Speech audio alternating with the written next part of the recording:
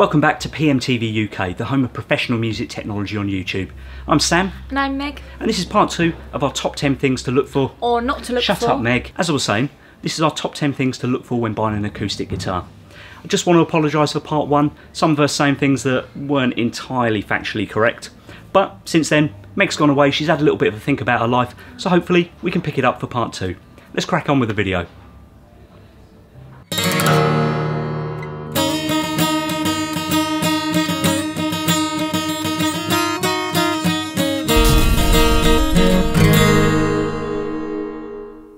Number six, make sure an acoustic guitar has poor tuning stability.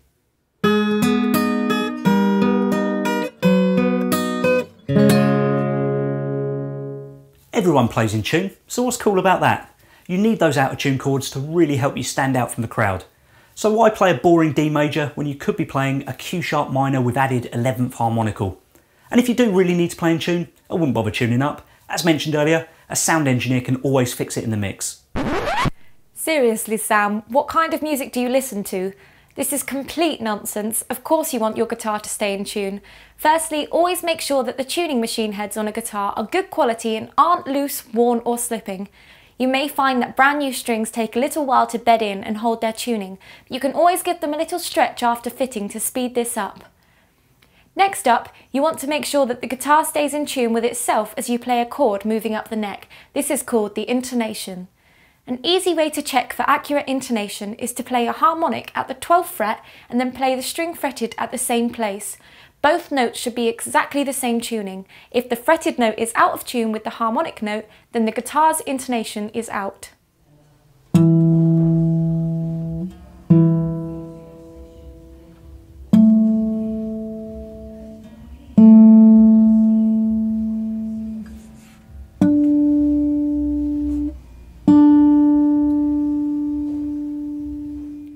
On an electric guitar, this can usually be adjusted because they have movable saddles, but on an acoustic, it's not very easy to adjust at all. Inaccurate intonation means that the guitar will sound more out of tune depending on different chords that you play, even if the open strings are reading perfectly in tune on a tuner. And don't listen to what Sam said, no amount of recording studio magic can make an out of tune guitar sound any better. Number seven, always choose looks over sound and playability. Always buy the blingiest, flashiest guitar that you can. Fancy inlays, gold, glitter, the more the better. It will make sure that people know how good a guitarist you actually are. And if your guitar is pretty boring looking, you can always jazz it up by painting it a funky colour or covering it in stickers.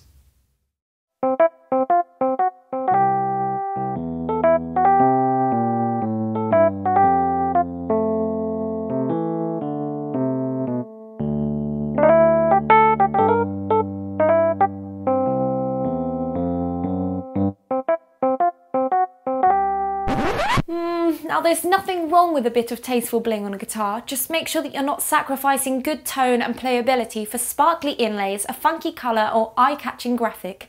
A lot of really cheap acoustics are finished in bright colours or heavy lacquers to disguise the poor quality finish of the woods, but this also really affects the tone. A lot of better quality acoustics only have a very thin layer of lacquer which allows the woods to resonate even more, delivering a much more complex tone. And if you really care about the sound of your guitar, definitely don't cover it in stickers like that idiot Sam suggested, as this will only stiffen up the top and stifle your guitar's natural voice. Number eight, does your acoustic guitar need to have a pickup? To be honest, it doesn't really matter. If you buy a guitar without a pickup and want to play it at a gig, that's a soundman's problem. Anyway, if you do want to add a pickup at a later date, you can get one that just sticks onto the body of your guitar for only a couple of quid on eBay. Problem solved. Aftermarket under the saddle pickup and preamp systems are also really easy to fit. You don't need to be a professional luthier, you just need a big powerful drill, a saw and a massive hammer.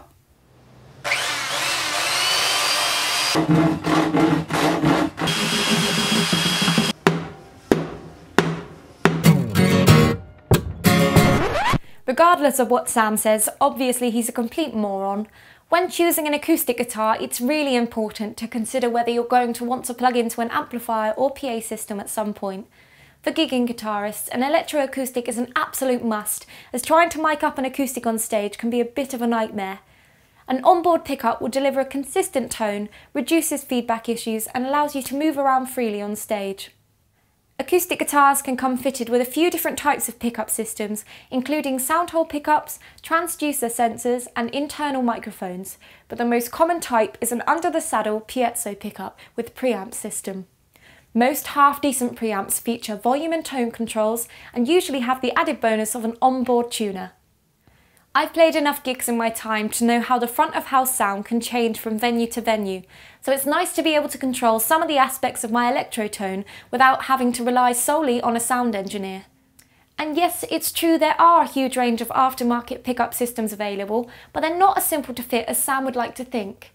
Usually it will involve drilling or cutting a couple of holes into your brand new guitar, and if fitting an undersaddle pickup, the saddle will need filing down so the guitar setup is not affected.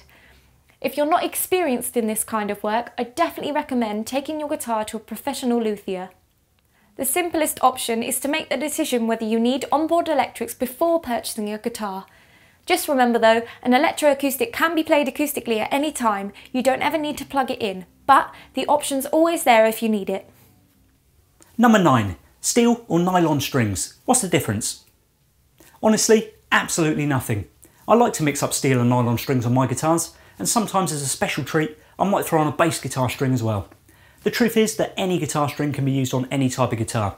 All those different sets and gauges of strings that you see behind the counter of your local guitar shop are just there to help us smug sales guys feel more important when we pretend to know the difference, confusing you into buying more sets and making us more money.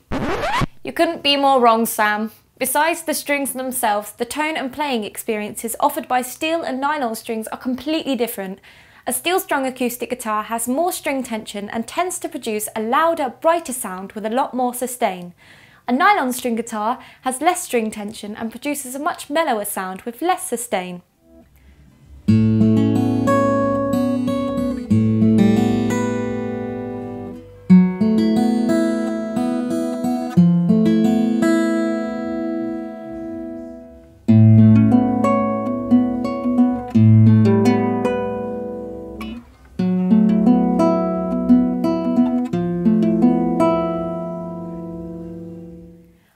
Teachers suggest that beginners should start with a nylon string guitar, as the softer strings make it easier for sensitive fingers to press down the strings and form chords.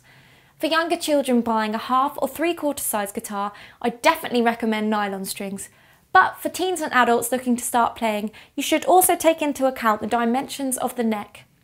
Most classical nylon string guitars have wider, chunkier necks that can make it more challenging to form chords comfortably, especially if you've got smaller hands. A well-made steel string acoustic will be set up in a way that's very comfortable for beginners to play, making it easier to form chords. The choice between steel and nylon strung really comes down to which tone you prefer and which style of music you want to play. Steel and bronze acoustic strings are available in different thicknesses, or gauges. Heavier gauge strings tend to be harder to play but deliver a louder, fuller tone. If you are struggling to play your steel strung acoustic, you can always fit a lighter gauge set of strings which should make the fretting and bending a little easier on your fingers. The tension of the strings in relation to the gauge will differ depending on the size or scale length of your guitar. The scale length is the distance between the nut and the bridge of a guitar. A shorter scale usually means there will be less string tension, so strings will feel lighter to play and easier to bend. Bear this in mind if you're buying a small travel-sized guitar as you will usually need to fit a slightly heavier gauge of string than you'd ordinarily use on your full-sized acoustic. Finally, number 10. Always buy online without ever seeing or playing the guitar. It's always best to buy a guitar online without actually playing it, preferably on eBay from a random seller based in China with zero feedback. You don't ever need to physically see or play a guitar before you buy one. They all look, feel and sound the same. Seriously, it's amazing you can buy a real Fender acoustic guitar on eBay for less than £100. Yes, you might have to wait a couple of weeks for delivery as it gets shipped from China, but that same guitar, if bought from a guitar shop such as Professional Music Technology in the UK, would cost well over a £1,000. If it says Fender on the headstock, it must be a real Fender, right? So by buying a guitar online, you definitely always get the cheapest price and you won't need to waste your time going into a guitar shop when you could be getting on with much more important rockstar cliches like throwing TVs out of windows or drinking until you pass out. Seriously, just ignore everything that Sam says. Good guitars aren't like mass-produced TVs or iPhones. Every single one is completely unique, even if the differences may be very subtle. Every single piece of wood will have a different grain, which not only affects the way it looks, but also has a knock-on effect when it comes to the guitar's tone. It's really important to try and get to play an acoustic guitar before making a purchase. You'll never know when you're going to pick up the perfect guitar for you.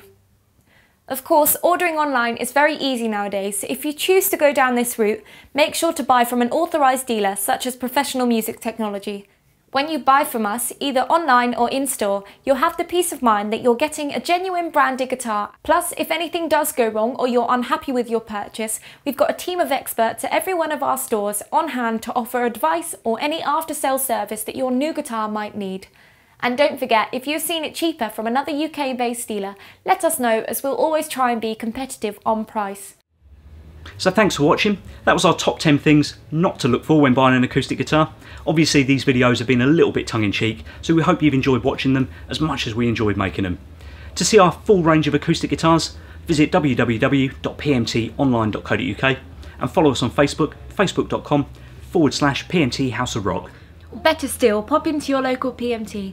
I'm the acoustic specialist at PMT Portsmouth, but there's someone like me on hand every store, seven days a week to give you any help and advice you might need. So make sure to follow your local PMT on Facebook, Twitter and Instagram to keep up to date with all the latest products, special offers, news and events. If you enjoyed this video, give it a thumbs up and subscribe for more like this. I'm Sam. I'm Meg. And we'll see you next time.